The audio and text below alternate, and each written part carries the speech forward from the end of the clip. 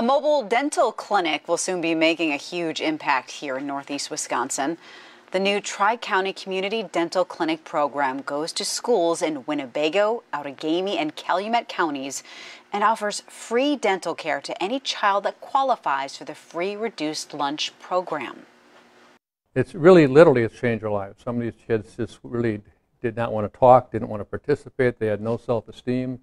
But when they came out of the program, they, they completely changed their lives. They were friendly, they, were, they would smile again. Um, one mother called and said, It's the first time I've seen my daughter smile in 10 years. Um, so it's a, it's, a, it's a very rewarding program.